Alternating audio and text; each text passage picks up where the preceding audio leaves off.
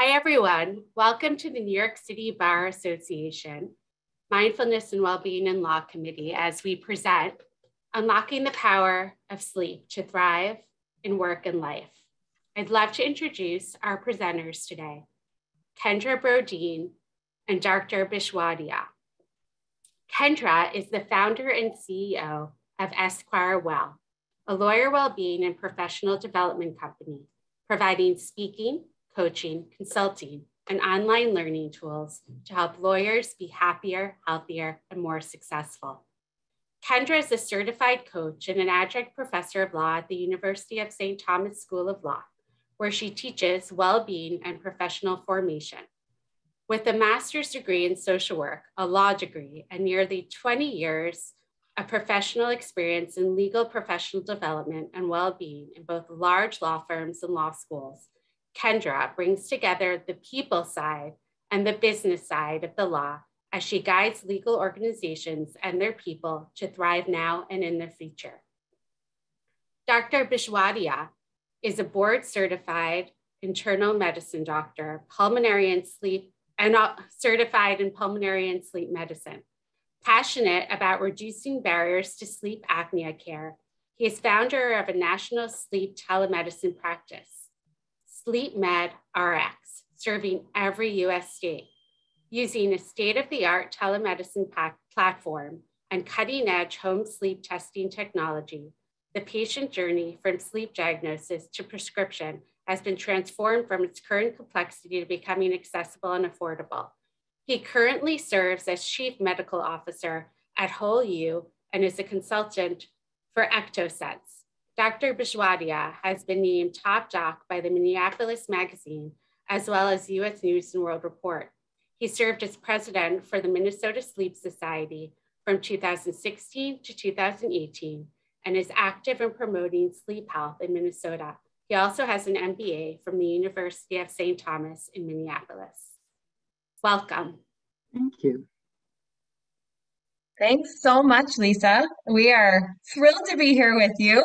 We are both sitting in Minneapolis and uh, and excited to be talking with new friends and, and colleagues across the country in there in New York City and wherever you're sitting right now, knowing that we live in this new remote world, you might be already somewhere else for Memorial Day weekend and watching us from somewhere else. But what we hope to do is share with you some insights about sleep and how to get better sleep as such a critical component of well-being. So um, I'm thrilled to be able to work again with my, my friend and colleague Jagdeep Bijwadia, who I have learned so much about sleep from, and he is just a tremendous resource. So let's jump in. As we go along, we invite you to drop your questions into the Q&A. We will answer them in real time. I'll be watching for those. So you don't have to save them up for the end. You can drop them in at any point, and um, to the extent that they're on topic with what we're talking about, we'll answer them right away. If they're not, if they're just a general question, we'll save it toward the end, and then we'll do a whole Q and A period at the end. So I always say, when, whenever I get to work with Jagdeep, you have a preeminent sleep expert at your disposal right now take advantage of him and his expertise. He's amazing at just talking through whatever's happening for you and giving you some recommendations. So, Jagdeep, why don't we jump in? Tell us a little bit about how sleep actually impacts our health, our mental well being. How does sleep or lack thereof hurt or help us? Sure. Uh, first of all, what a thrill to be here again with you and uh, talking to uh, attorneys that I think um, I, I, am quite aware are, uh, you know, extremely uh, hyper vigilant and uh, always thinking and uh, therefore have difficulty turning their brains off at night, right? And um, so this is something that's uh, quite near and dear to me because uh, insomnia is such a such a huge problem. But I think you know, um, looking at it broadly, sleep health is something that people have only probably recently recognized, and although it's it's been you know given quite a bit of press, um, the awareness about sleep as a part of your overall health and well-being is relatively recent. Um, and I think what, what, what we've found is that sleep not only affects your physical health, which is of course, you know, important. It, it affects your cardiovascular system. It affects, you know, diabetics. It affects your immune system. So there's a lot of physical um, impacts to poor sleep. But it also affects your mental health, which of course is incredibly important and in, and in the news lately. So depression, anxiety, manic depressive psychosis, all of these are intimately related to how well the brain is rested at night. And then um, it also affects your emotional health. So the fact that you're able to thrive and be alert and happy and productive is all um, you know impacted by your sleep quality. So I, I, don't think I would be far off the mark to say that sleep really impacts every body system and every aspect of our health. Um, and you know, it, has been uh, you know one of the things I love about being a sleep doctor is that it's a constant new discovery, right? We're learning more and more every day about how sleep impacts uh, different things. And you know, when somebody points it out, you sort of say, aha, I, you know, I've experienced that myself. You know, I'll give you an example. Um, if you sleep poorly at night, let's say you have a very bad night and you haven't slept really well at all, I think you'll find yourself um, just irritable, you know, the next day and, and not in a good mood and not able to, do, to, to be at your best. And if this happens in more than one night, you can imagine the impact it has cumulatively. So um, yeah, I mean, I, I, think that we, we are able to um, really look at sleep as a third of one's life. You know, eight hours of every 24 hours should be spent in sleep. And naturally, it's going to have a huge impact. Um, so yes, I, I mean, I, I, think it's it's something that all of us should be very aware of and really pay more attention to.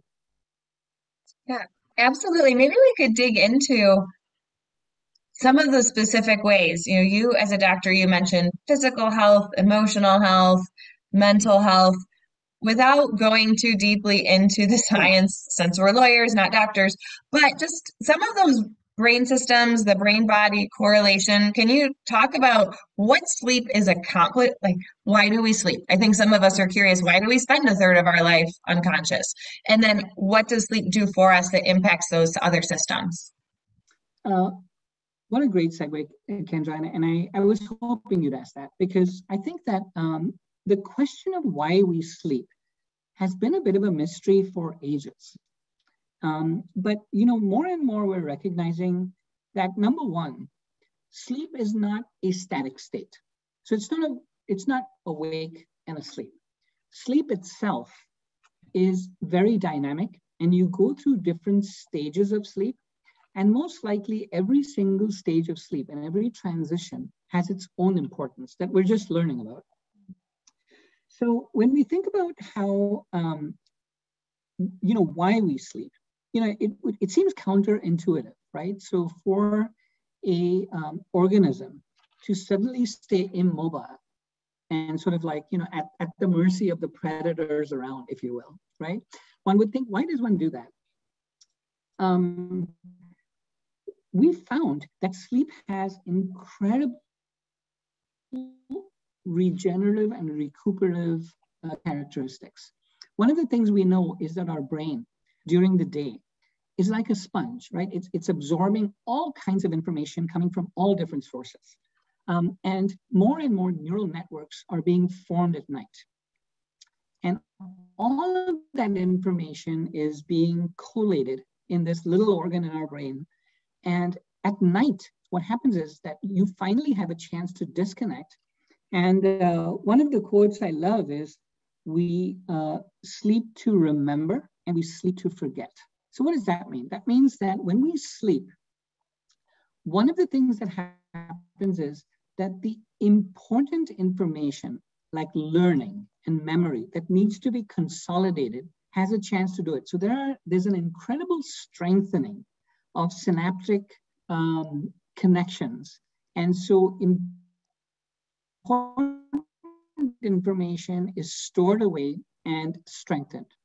But there's a whole lot of extraneous information. Like as, as people are listening to this webinar, there's probably, you know, the colors of the walls around them, or, you know, maybe there's a, there's a book on their side. I mean, all of that information is, is entering their brain, but it's not really important information you know, there's probably a few nuggets that they need to take away from today's hour long talk that when they sleep at night, hopefully that gets consolidated. But all of that stuff that we don't need actually gets eliminated. And that allows the brain to now start gathering more information the next day. So I think that you know one of the most important uh, uh, functions of sleep is really allowing our brains to reboot, uh, if you will, if, if you think about a computer. It also allows our body to regenerate. So as we fall asleep, um, it's interesting, uh, and only recently people have found this, uh, have, have started to understand this, is that our sleep is, you know, we always think of the sleep as a brain phenomenon, right? We think about, okay, so when, when we're asleep, we're either, you know, unconscious or conscious and we, we can't remember things. But I think it's important for you to note that every single organism in this whole world sleeps, right? even if they don't have brains, jellyfish sleep. Every cell in our body has a circadian clock. And so there's this giant planetary rhythm that is occurring every night. And our brain is part of it, but it's not the only part of it. And I think we're understanding more and more that sleep is important to every part and every tissue of our body. So um, that, that sort of in short should, should tell you how incredibly important this state is and why we really need to protect it as much as we can, because it's going to allow us to live our other two third of our life uh, in a much more healthy way. Okay, that's absolutely fascinating because I was definitely one of the people who thought it was just a brain mechanism. I was actually thinking that as you were talking, like, is anything else impacted by sleep? But that's fascinating that organisms without brains rest or sleep as well, and that we have almost a universal circadian rhythm.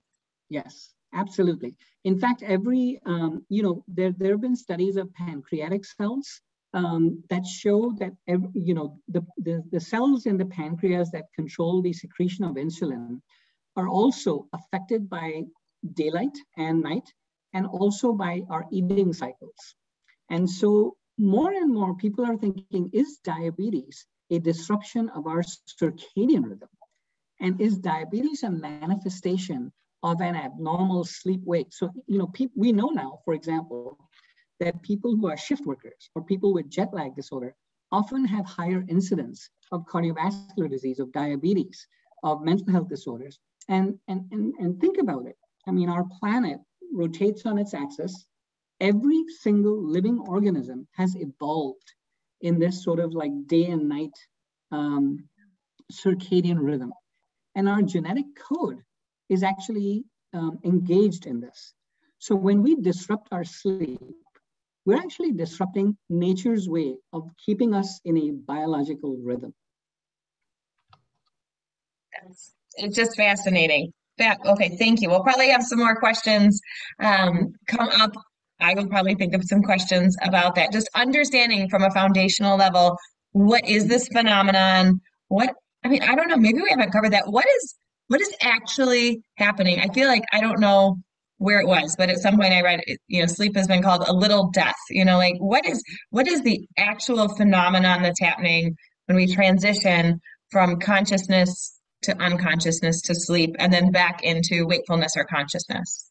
Sure. So you know, I, I think that, uh, again, there, there's some fascinating insights into this. So if I asked you, Kendra, today, um, you know, when you went to sleep last night, how long did it take you to fall asleep? I think you could probably answer me in uh, uh, probably a rather imprecise fashion and say, yeah, I think I think I fell asleep in 20 minutes or 10 minutes, but I don't think you'd be really sure. Okay. Um, if you have insomnia, however, you'll know that oh, I was I was looking at the clock and I couldn't fall asleep till one or two o'clock in the morning. But most people have what we call um, sleep sleep um, insomnia, which, which means you don't remember exactly the time you fall asleep, but yet your brain. It, when we study uh, the brain during sleep in our sleep studies, we can actually um, tell you the exact second that your brain transitions from awake to a sleep state right? And then every single stage of sleep has its own, I'll say, EEG signature. So we can tell, aha, this patient's in stage one, now he's in stage two, now he's in REM. And every time your brain transitions through these stages, um, there's a different metabolic activity. So, you know, for example, you might think that when you're when you're asleep, you are sort of disconnected from your environment and you know you're sort of quote unquote unconscious, little death, as you said, right? But studies have shown that in certain stages of sleep, like REM sleep, there are certain parts of the brain that have a higher blood supply and a higher glucose consumption than even when you're awake. So that there are important functions going on within your brain while you're asleep that are actually incredibly important to revitalizing the organism. Um, and so, absolutely. So, sleep shouldn't be considered a static state. It's actually a very dynamic state. The only difference is that you, it, it's sort of your escape from the consciousness, right? I almost feel like, um, you know, one of the things I, I, I really encourage people to do is to um, is to think of sleep as something that's really a gift. You know, if you think about people who are, you know, and I, I hate to bring this up, but you know, there are people that are grieving today, right, from all these traumatic events that are occurring. The only escape they will have is when they sleep, right? Mm-hmm. And so it's really a gift that we need to preserve.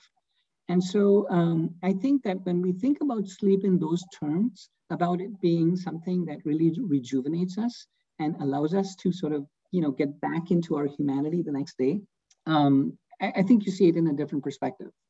Yeah. No, that makes a lot of sense. And, and that the brain is still active because as you're describing it, I'm thinking, you know, for those of us who are parents, it's not as mm-hmm. if you're completely shut off. And and I was noticing it even the other night when I was sleeping. I have a teenage daughter who sleeps in the basement, two floors beneath me. She got up in the middle of the night and dropped a cup. And I was up like a bolt of lightning. But there are things we sleep through. I sleep through the air conditioning coming on and off. I sleep through my husband's sleep issues, which is something you and I have talked about. But that cup, knowing that my daughter was awake, woke me up instantly. What is that phenomenon that some things wake us up, like our children or hearing a door open or something, sort of high alert, but other things our brain is disregarding? Yeah, and uh, you know, I, I think that uh, it's definitely a learned phenomenon, and I and I think that uh, mothers in particular uh, seem to be, you know, very sensitive to their own children or, or their own child, you know, in distress or awake, um, husbands, not so much from what I hear. he didn't wake up. yes. yes, but but that's certainly true. And there are some uh, some genetic predispositions uh, to the strength of the sleep signal. I'll say. So there are some uh, people, for example, uh, that the minute you know, I, I always uh, you know joke about this, but you know? I, my parents used to live in England. So when I traveled to to London, for example, uh, taking off, I'd really feel jealous of the people around me that could, you know, the minute the plane took off, they'd be like out, you know, like a light. And I, I couldn't sleep on a plane, you know, to save my life. And so there are certain people that have really strong, incredibly strong sleep signals, right? But on the other hand, there are some people that if there's a wrinkle on the bed, they can't sleep. Or if they're in a new environment, they can't sleep. So some of that is genetic, uh, some of obviously is learned as well. But I think that, uh, you know, we, you know, when we think about sleep, part of it is our own genetic uh, makeup, part of it is environment, and part of it is learned behavior. And I think untangling those uh, is, somewhat, is sometimes quite helpful when we're dealing with issues like, um, you know, insomnia or difficulty falling asleep or staying asleep, you know, things like that. Sort of understanding, you know, how our brain works to create those rhythms uh, is, is sometimes quite helpful. Perfect. And I know we'll get into a lot of those. My my husband calls me a sleeping princess. It has to be dark and cool and just right or I can't fall asleep. And so um so I'm jealous of the people like you said who can just fall asleep, you know, sitting up in a chair, take a little cat nap. I don't know how they do it. Yeah, yeah exactly. Mm-hmm. Jagdeep, we have a couple of questions and these are great questions. So keep these coming. So I'm going to jump in here um, with the questions, and then we can move back into some of the questions I have for you. The first one that came in uh, that I saw was uh, how does sleep deprivation affect the immune excuse me system specifically? You were talking about different impacts on the brain and the body. The immune system, how is that impacted when you don't get enough sleep? Yeah, very interesting, and especially during this whole pandemic, this has been a, a an area of research. So it seems that the um, that sleep is important for both T cell function and antibody uh, formation. And uh, one of the earliest studies about this came when they looked at patients who had influenza vaccines, and they had two cohorts of people. One that were not allowed to sleep, so they would they would be waking up frequently throughout the night, and the other ones that were allowed to sleep their natural sleep. And sure enough, the people with disrupted sleep patterns had lower antibody levels than those with, um, you know, uh, that, that were allowed to sleep long. So that was, that was a sort of the first study that showed that for influenza vaccines, there's a clear differentiation between sleep deprivation and not. And then if you look at the COVID data today, you can, there's, there's a significant amount of evidence today that people who were hospitalized and that slept poorly had worse outcomes than those people that had, you know, uh, normal sleep during their COVID. Uh, so so I think that um, you know the the idea that immune function is related to sleep is gathering more and more evidence today, and certainly I think that many of us may have experienced. Um, you know, anecdotally, my mom would say like, "Hey, you know, for example, I'll give you uh, uh, uh, something that I think most of us have experienced. When you fall sick and you have a fever, what happens for those four or five days? You are sleeping way more than you normally do and your body is taking that sleep and allowing your immune system to rev up and recover. Um, and, and the opposite is true as well, that if you sleep deprive yourself for, you know, many, many days, you're more likely to fall sick. So both of those are true. But there is now, you know, uh, scientific evidence to show that the actual antibody responses are blunted when you uh, have sleep deprivation. Another reason, another one, another of the many reasons to make sure that we're getting enough sleep. Perfect. Thank you. I'm going to zip through a couple more of these questions and then we'll again get back into our agenda, but they're just great. Um, another question. How, why is it that when we're about to fall asleep, and, and I've had this happen too, so I don't know how many other people will resonate with this. We have a herky jerky motion. I think it's a perfect way this person described it. What, what is happening? Can you explain what's happening when you feel that sort of like Yeah. Yeah, and and you know we uh, actually have I've seen patients who come to my clinic because they're worried about it, right? And um, there's actually a scientific name for that. It's called a hypnic jerk, uh, H Y P N I C, a hypnic jerk. And what happens is that as we're falling asleep, suddenly you feel like as if you're almost like your leg is, you know, just jerking, or you know, part of your body is sort of like uh, jerking. Um, we think that that's what, what happens in in different stages of sleep is that your muscle tone suddenly falls, right? And it happens most significantly in REM sleep. So in REM sleep, your muscle activity is completely diminished. Uh, we actually think that that's a protective mechanism. We can we can get that uh, get into that uh, you know in later conversation. But what might be happening in the, in these situations is that the muscle activity is falling before your brain alertness has fallen into the sleep state. So you suddenly you feel your muscles are relaxing or you know almost going limp or jerking before your sleep onset. Um, this is usually a pretty benign phenomenon, uh, so it's not something to necessarily be worried about. Um, and I think most of you will notice that this happens when you are extremely tired. So when you've sort of like, you know, stayed up too long or when you, you know, you, you maybe had a glass of wine or two, and you're you're just about to you know fall asleep and all of a sudden your body sort of jerks open. Uh, and that that's uh, that's a pretty common situation. And most times 90% of the times it is not indicative of a significant sleep disorder.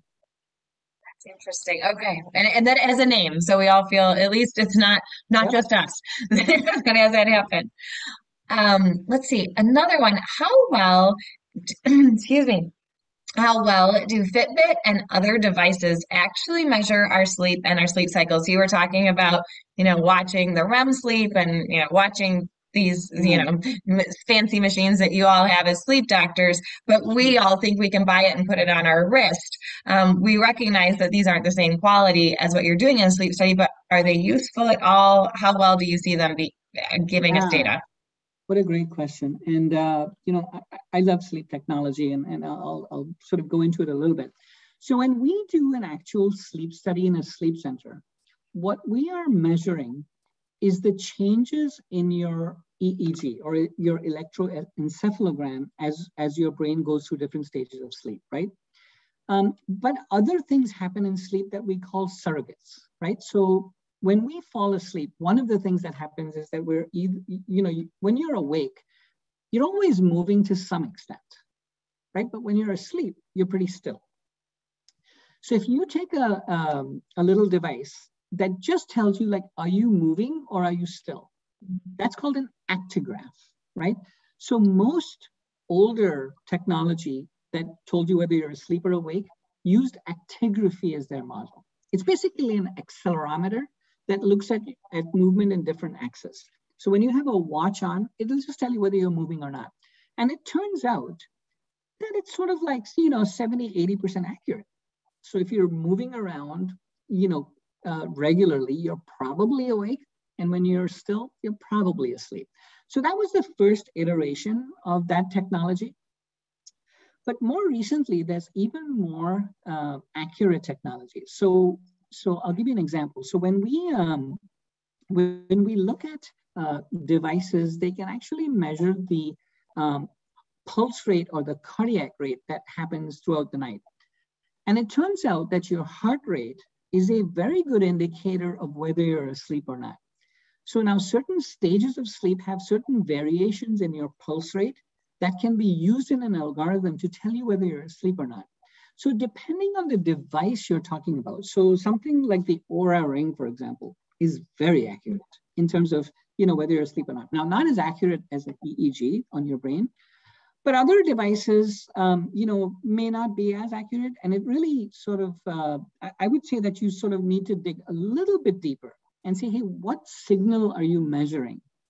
And how does it correlate? And what studies have been done? So, so if somebody comes to me, I say that, you know, all of these devices that you use to measure your sleep are probably okay from a trend perspective but don't expect it to give you the exact amount of sleep that your brain is getting.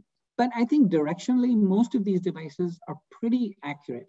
So if you can, you know, if you wear, for example, an Oura ring or, you know, a, an Apple watch, um, over time, it'll give you a trend. Like, I, I, is your sleep patterns increasing or decreasing? I think those are pretty, pretty useful. Okay, no, and that's helpful. And it's, I think that's a great way to look at it because I can imagine just some people are more active in their sleep. You know, I sleep like a log. My husband makes fun of me. I don't move at all. So I've got to think maybe it's a little more accurate. But people who I've got a couple of kids who roll over and flail, and you know, if it's just measuring activity, then to your point, eh, maybe we're closer to that 70 to 80% accuracy. Exactly. Exactly. Okay. Mm-hmm. Fascinating. Okay, a couple more questions. Um, maybe in the same vein as that, had a question. Can you address sleep paralysis? Sure. Yeah, um, it, it's sort of a little bit akin to what I talked about when your muscle tone drops. So, um, what happens during REM sleep is that your muscle tone is at the lowest of your whole 24 hour period. Okay. Now, if, if you go into what we call REM state physiology whilst awake, then your muscles are paralyzed, okay? And let, let me describe what sleep paralysis is, because maybe everybody doesn't know exactly what that term means. What happens is that sometimes when people wake up, they feel like they can't move at all. And it can be quite frightening and, and it can be quite a um, you know panic type sensation. Because for you know a minute or two they're awake they're aware of their surroundings but they just simply cannot move their arms or legs. That's called sleep paralysis. Now sleep paralysis can be a symptom of certain sleep disorders like narcolepsy for example. Uh, patients who have narcolepsy have sleep, uh, have sleep paralysis. But sleep paralysis can also be a benign phenomenon it's also something that if it occurs very infrequently, you know, or, or just on occasion and is not associated with daytime sleepiness or fatigue or any other sleep symptoms, you're probably okay. But I would say that if you're experiencing sleep paralysis more frequently, you should probably at least have a consultation with a sleep physician to say like, hey, am I, am, am I in the normal spectrum or is this something that I should be worried about? That's helpful. Thanks. Um, mm-hmm. I think I've only had that a couple of times, and apparently a few of you have had it as well, enough to know what it's called. And that does sound terrifying um, and worth. This is helpful, Jagdeep, to help us understand what is mostly benign and just something we live through in a normal human experience, and what is worth getting checked out. So thanks for letting us know yeah. the difference. Yeah, again, I mean, if you're experiencing sleep paralysis maybe once a month or something like that, I mean, I, I you know, as long as you're not experiencing other symptoms with it, you're okay. okay. But if it's more frequent than that, I would at least have a conversation. Okay. Perfect. Thank you. I've got three questions that are sort of in the same line, so I'm going to do my best to combine them. So if I hmm. don't give you them perfectly clearly, just ask me and I'll repeat them. So they're all aligned with how much sleep do we need is sort of the basic foundational one.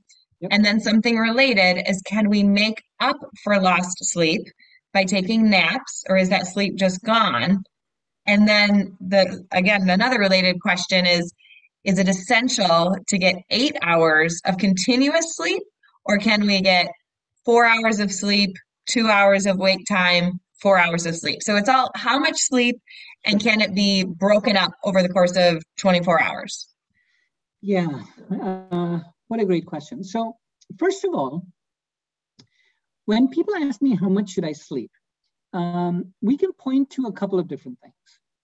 Um, in general, I would say that if you are alert and and uh, very functional during the day, you probably are getting enough sleep. But if you're feeling, you know, tired or you know, feeling like, you know, towards the afternoon I have like this dip, you know, you should ask yourself, hey, is it is it a problem with the amount of sleep I'm getting? Now, the American Academy of Sleep Medicine has done very large epidemiolo epidemiologic studies, and it turns out that most adults need somewhere between seven and nine hours of sleep. That's that's the normal population. But like anything else, you know, if you take our height or weight, right? It says what's the normal height? Well, you know, I could tell you what the average height is, but it's it's it's what the distribution is what's on called a Gaussian curve, right? So there's people to the right and the left of that curve. But when do you think that it's abnormal? So if somebody sleeps for less than five hours regularly or more than nine hours regularly, that is typically, I would say, outside of the 90th percentile of normal, right? So um, can there be somebody that sleeps less than five hours and, and is getting enough sleep? Yes, but it becomes less and less likely from a percentage perspective, right? And I always start worrying about like, hmm, you know, are they really getting enough sleep?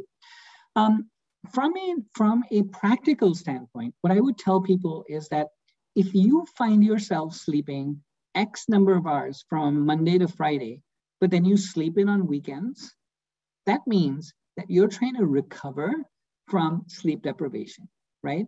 You should really be sleeping the same number of hours every night if that's normal sleep.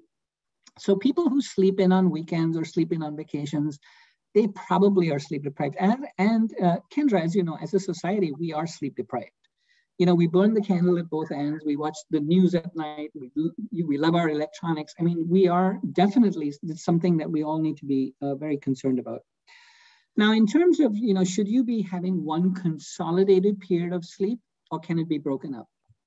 Um, it's interesting. There are some studies that show that our ancestors maybe had biphasic sleep, right? So they would they would sleep for four or five hours, and they, they would hunt and gather when the when the dawn came out for you know, and then they would fall back to sleep.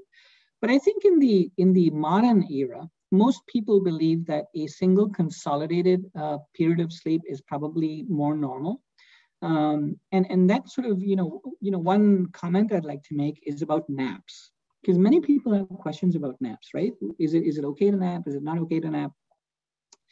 And you know, certainly there are countries like Spain where a siesta is very normal and encouraged, right? It's part of their culture. So, so what, what can we say about naps? And what I tell my patients is that if you sleep well at night, and if you can nap, more power to you, right? Enjoy that nap, enjoy your sleep, no problem. But if you have insomnia, if you have difficulty falling asleep or staying asleep, do not nap, right? Because you are really actually worsening your tendency for insomnia at night if you nap during the day. So it depends on your, um, I'll say your your nighttime sleep. Uh, so that that's sort of my uh, my advice about naps and, and sleep duration. Okay, oh, no, and that's one, helpful. One, one last, okay. uh, sorry, one, yeah. one last little point I'd like to make is that the duration of sleep also varies by age, right? Mm. So young kids need way more sleep than adults. And I think that, uh, you know, young children and adolescents should get nine, 10 hours of sleep as a normal. While in adults, you can you can come back to that seven or eight hours of sleep. So if you have young kids or adolescents at home, and if they're being rowdy or irritable or you know not doing well at school, think are they getting enough sleep at night? It, it is critical that they get more than seven hours or eight, more than eight or nine hours of sleep actually is, is what's yeah. recommended. I think it is tricky with the teenagers because, um, and I know our school district changed their hours, and I'm wondering, you know, you've seen those probably, and yep. and I think it made a lot of sense because the teenagers were staying up late with activities and homework, but then the school districts were saying, oh, well, they're, they can get up early and get on the bus earlier than the other kids, but these teenagers are only getting, you know, maybe six, seven hours of sleep. So they started pushing back because the younger kids went to bed earlier. And so the teenagers were really suffering and were sleep deprived. Yeah. And I think that, uh, you know, one of the things uh, that we should be aware about too is that uh, when we think about sleep time, right, seven hours to nine hours, you know, whatever it might be, there's also a circadian pattern to that. So as you start going from childhood into adolescence, you have a normal sleep delay, right? Uh, it's called a phase delay. So teenagers, their, their melatonin secretion and their body rhythms actually are delayed. So it is very normal for somebody who's 16 to 19 or 20 years old to go asleep late. They, they can't fall asleep earlier. You know, if you let your teenager go to bed at nine o'clock, it's not going to happen right? So I think that you, you, you need to take into account the fact that teenagers typically are, are phase delayed, we call it. And the opposite mm-hmm. happens in our grandparents, right? So grandparents sleep earlier and wake up earlier. And that's just a normal sort of rhythm of sleep that occurs as we age. That's helpful because I think sometimes we think it's just our kids or just our parents or our grandparents, but that's a very normal, a normal thing. Perfect. Okay. Well, what, and we've touched on some of these, but as a sleep doctor, what are some of the most common sleep complaints that you hear? I, we've mentioned some insomnia, but dig deeper if you could. You know, what are you hearing from people that are their, their main complaints? Yeah, I would say that there are two uh, sleep complaints that predominate that sort of probably make up 80% of my practice. And then there's about 20% of other complaints. So let's let's just start with you know, the biggest complaint I have is insomnia, right? And that could be difficulty either falling asleep or staying asleep or waking up too early or just feeling like their sleep is not restful, right? That is, that is the whole syndrome of insomnia. The other large category, I would say, um, you know, certainly in the US, is uh, sleep apnea. And these are patients that are excessively sleepy and fatigued and tired during the day they just never feel rested. And, um, you know, the characteristic symptom that they have at night is snoring and maybe abnormal breathing patterns. So sometimes people might notice that they're stopping breathing or they gasp at night. But, but even without that, I think if you snore and if you have abnormal, just feeling, you know, just poorly rested, uh, that's called sleep apnea. And, uh, you know, there are various sort of subcategories of sleep apnea and sleep related breathing disorders, we call them. Uh, but those are uh, very important, mainly because if you treat the sleep apnea, you can have a huge impact on people's lives. Um, and, I, and I mean both the, the patient and the spouse. So I think that's a, that's a critical uh, one. And then the last 20% are those patients that have abnormal behaviors. So they have sleepwalking or sleep terrors or you know, um, nightmare disorder, post-traumatic stress disorder, all of those sort of lumped up into this category called parasomnias. So even though there are probably more than 150 sleep disorders that we know about, um, broadly, it's in these three buckets. Either people can't sleep, or they're too sleepy, or they have some abnormal patterns of behavior at night. Those are our those are our typical sort of patient groups. Right. I'm, ta- I'm taking good notes. That's so that's so fascinating how the percentages break down and that the vast majority are this insomnia. They just can't get to sleep. And it sounds like even from the questions we're getting, that's what people are really struggling with or have struggled with historically. And maybe as we think about our attorney population, burning that candle at both ends, staying up too late, working, maybe playing on technology, as you mentioned, whatever it is, but staying up too late. And then let's talk about what that does for us. We talked about what it does physiologically and sort of the purpose of sleep in our brain, but could you talk about how it impacts our work, like our, our work performance, our productivity, the actual work that we're trying to accomplish during the day?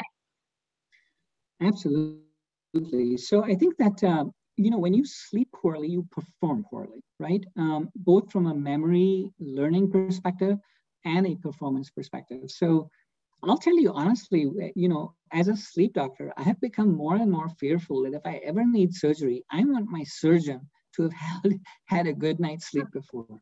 It is tremendous how much difference there is in terms of performance when you have a good or bad night's sleep.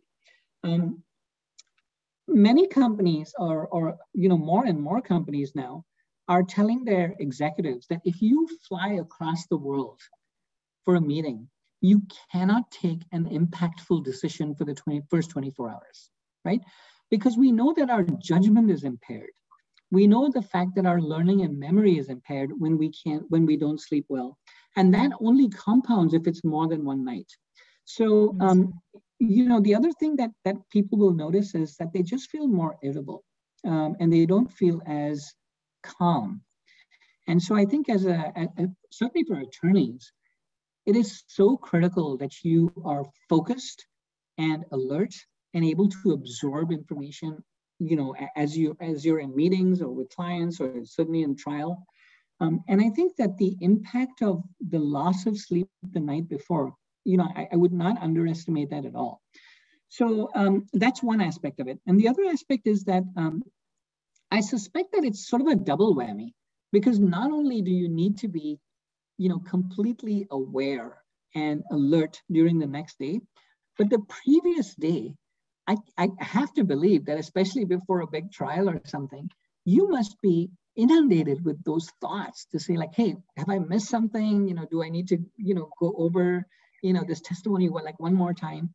And so disciplining yourself to say like, hey, I need to turn off my brain because it's going to help me perform better the next day, right? That sort of discipline and understanding, I think, is uh, is critical, and uh, it's not easy. You know, I mean, I, I get it. Uh, all of us have lives, and we burn candles at both ends. But I think the more you practice it, and the more importance you give to sleep, uh, the more likely it is that you'll be able to get a better balance.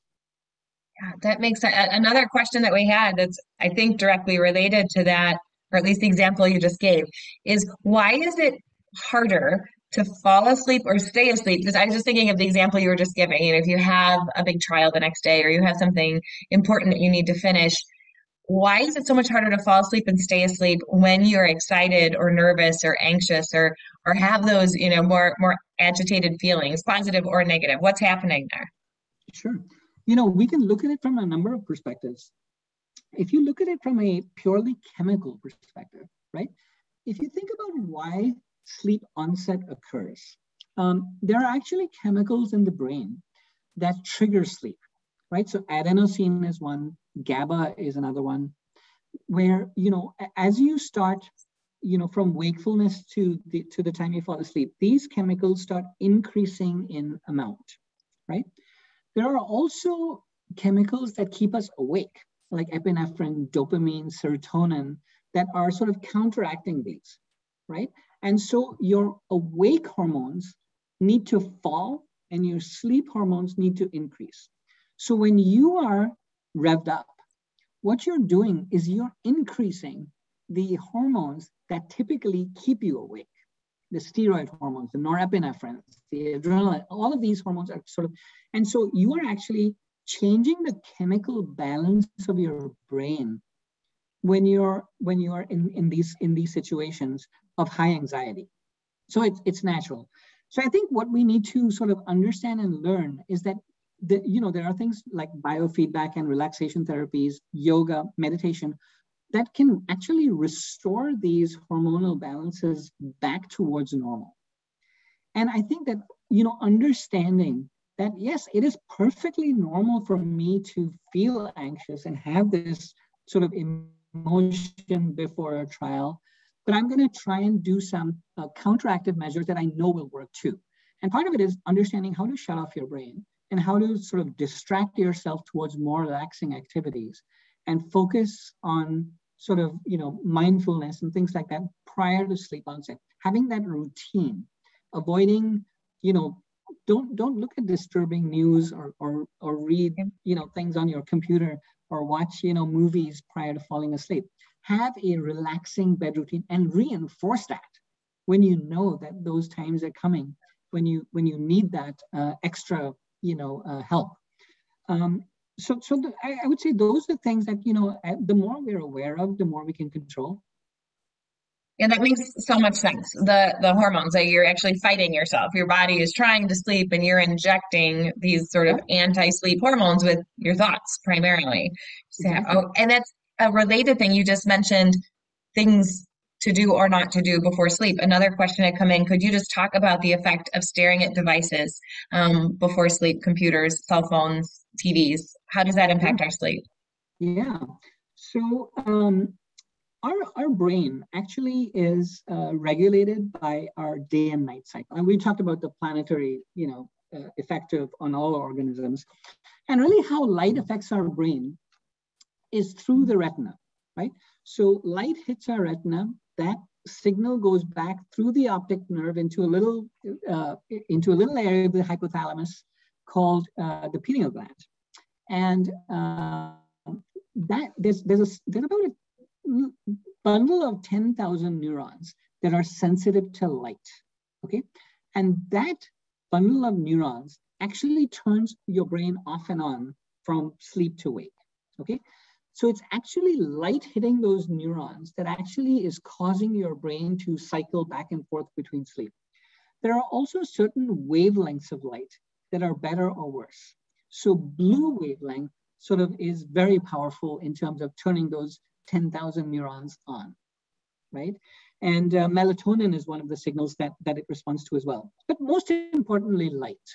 So when we turn our computers on or our iPhones on, what you're doing is you're simulating daylight.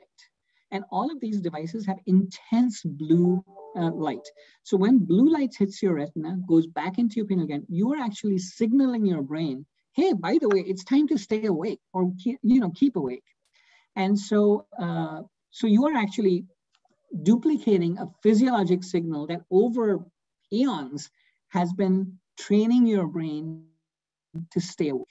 So uh, you really, you, obviously we need to avoid those signals, uh, especially in people who can't fall asleep well at night. Fascinating, because I think we've heard that, you know, turn off your phones or turn off your screens or don't look at it or turn on the, the warm light if you're going to look at your device. But that explains right. why. You're trying to, you're trying to block the blue light, blue and, light. And, you know those wavelengths that are that are excessively stimulating to the brain. So it does help to have you know the night mode on your devices, uh, but I would say even better is to not have the device at all.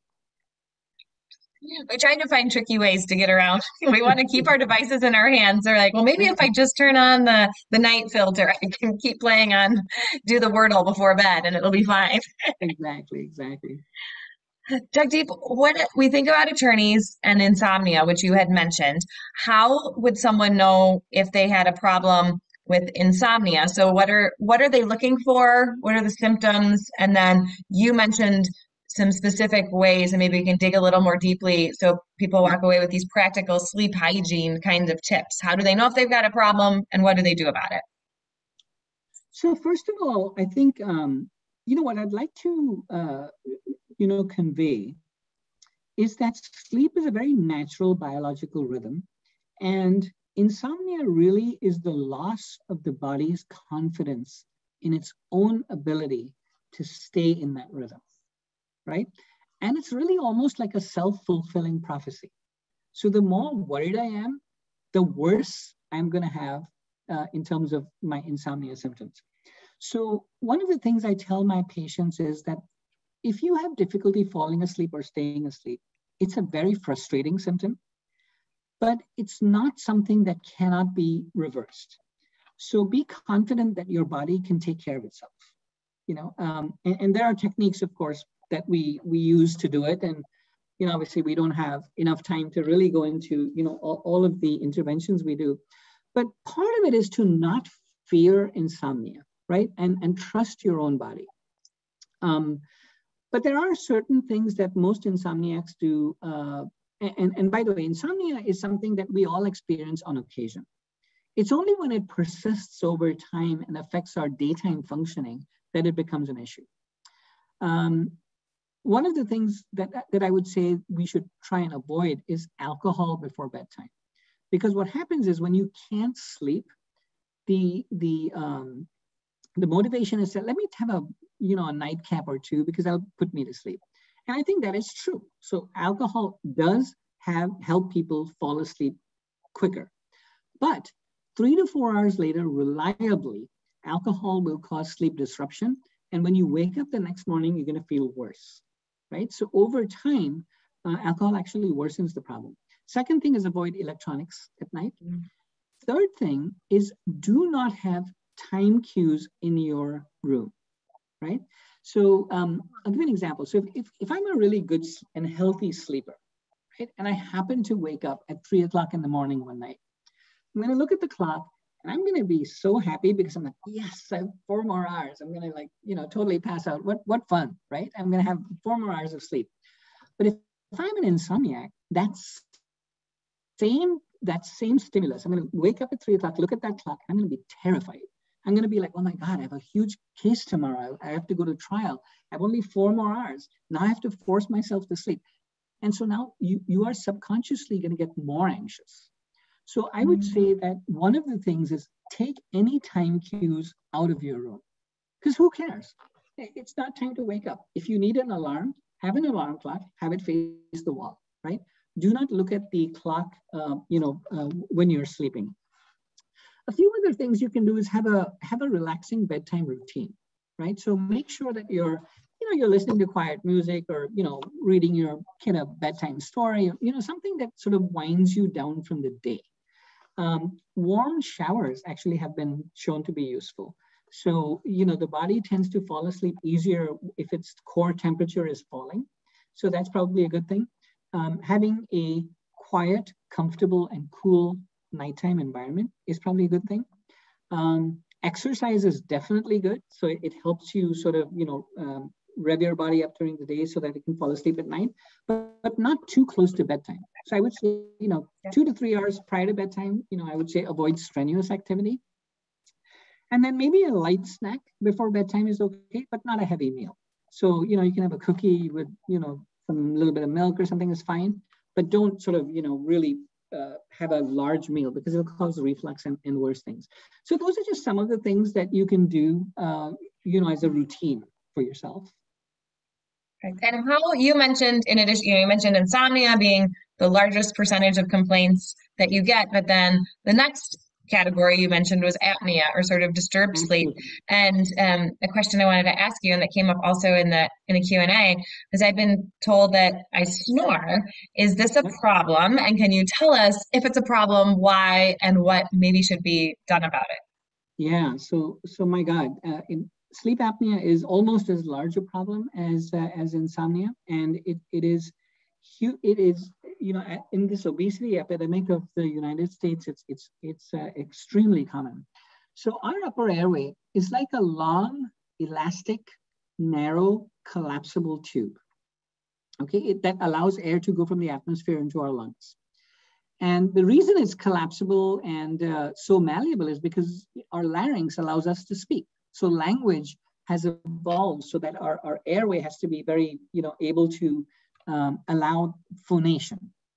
But the price we pay for it is that it can also collapse, right? So if you think about our airway, there are muscles all around it that are tonically keeping it sort of contracted and open. And at night, what happens in some people is that the muscles relax abnormally and they start, and the airway starts narrowing. So the first thing that happens is air going in and out is going to cause vibration, and that's what snoring is. But if the airway relaxes even further, then there's obstruction of the airflow going into the lung. And so your blood oxygen levels start falling, your brain gets aroused, and the symptoms are you might stop breathing, suddenly start, you know, it's like a snort arousal, we call it, or a gasping arousal. And the patient may not even know it. All they know is that they, when, when they wake up in the morning, they're sort of like headachy, they feel drowsy, they don't feel like they've, you know, had a good night's sleep. They might have a mm-hmm. dry mouth. And during the day, they're going to feel fatigued and sleepy. So that is sleep apnea, and it can and, and it not only affects how you feel, but it can increase your risk for cardiovascular disease, diabetes, depression, car accidents. I mean, the list goes on. So I think this is something that is, uh, you know, really some that I, I, would really encourage everybody. If you snore and you have sleepiness during the day, or if your spouse snores and has sleepiness during the day, mm-hmm do something about it. Get them a sleep study. It's it's very inexpensive and easy to do now. You don't need to be in a sleep center. It's there's a little device you can put on your finger, for example, that'll tell you whether you have sleep apnea or not. And the treatment is easily accessible and highly effective. So yeah, that's something that I would really tell our audience to be careful about. Yeah, and and you know I've shared with you, and my husband's given me permission to share. That's actually what you know he has really severe sleep apnea and that was the only signal we had is he was snoring and it was keeping me awake. And finally i was just like you got to get this checked out. Turns out he has severe apnea and needed needed treatment for it. So it's definitely a, because you don't necessarily know you're sleeping like you said unless you wake up and don't feel quite right. So sometimes if somebody's complaining about your snoring it's not just someone being you know annoying right. and saying know, you know, it might actually be a symptom of something much more severe. So to get that checked out, and I, um, I know that you you're an expert in that sort of apnea treatment as well. So we've got four minutes left. We've got six questions in the Q and A. So what I'm going to do, Jagdeep, is um, and actually maybe if you want, while I'm reading these questions, I'm going to ask you to multitask. Um, maybe if you could just drop your email address in the chat. Um, that way, if anybody has any additional questions, but specific apnea questions, because as you said, that's a really significant problem that I think more people are struggling with than even realize. Um, thank you so much. So if you uh, actually, could you send that to everybody? I think it just went to the hosts and panelists. So maybe if you oh, could drop it in again. Um, in case you need have a question about apnea specifically, you know where to reach Jagdeep. Um, so I'm going to rapid fire these six questions to you. We have three minutes, so we've got you know about 20 to 30 seconds for each. Okay, so here we go. Cha- this is the challenge. First question: Since my freshman year in college, when I lived in a dorm, I've had the following form of insomnia. I wake up in the middle of the night to use the restroom. Afterward, I can't fall back asleep. So frustrating. 20 years later, same sort of thing. I've never sought professional help, but I'm curious. What is happening? You sleep, you go to the bathroom, you wake up, you can't fall asleep. What's happening? Yeah, I, I, I think that you, the, the person does have insomnia, and I, I, I would encourage them to actually go through something called cognitive and behavioral therapy. There are online options for that. Uh, but also, I think you know one of the things that sometimes help is sleep restriction, where we actually help the person. We we try to restrict the number of hours of sleep so that you get a better sleep quality than quantity. Um, mm. But you know, again, I would encourage them to talk talk about this with with a sleep doc because there's yeah. lots that can be done for insomnia.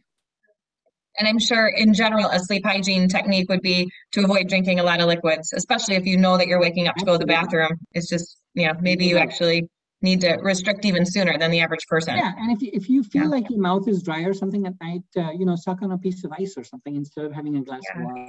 That's great. Okay, next question. Sometimes when I fall asleep or upon awakening in the morning, I hear a voice. Sometimes it says my name, sometimes it's other people. Is this common? It is not common. So, uh, auditory, we call it auditory hallucinations. Um, it can be a symptom of a sleep disorder. And, and I would probably need to know much more about the other symptoms involved. It's hard to hard to uh, sort of pinpoint that on a on a quick one minute. So okay. yeah, that's fair. Okay, I think you already answered this, but do adults need less sleep? You could probably just do yes, no, but do they need less sleep as they become older? So uh, in general, very slightly less. So most uh, even 80 year olds need that seven to eight hours of sleep. It may not be in one consolidated period, and often it's more fragmented, but they still need the same seven to eight hours of sleep. Yep. Got it. Um, how can people who work night shifts or travel often to other time zones help their own sleep patterns since they're being disrupted? Yeah, I, I hate to answer that in a minute because there's so many. I know. I'm so sorry. I should have done that one first.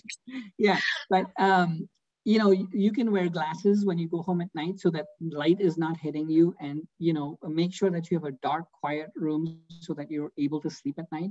Melatonin is is one of the things that we use to sometimes do phase adjustments. But again, I, I, I hesitate because there's just so much more depth to this question mm-hmm. that I that I feel like I probably can't answer in a minute or two. Yeah.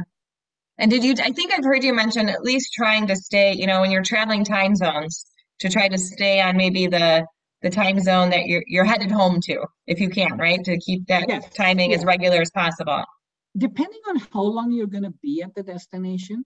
So if you're if you're going to go, you know, to London for like a three day meeting and come back, you may not want to do that. But if you're going to be there for a week, you might want to. So again, it depends on your schedule. So um, when we talk about jet lag, it, you know, we really try to individualize our recommendations based on what that person is wanting to achieve on the other side.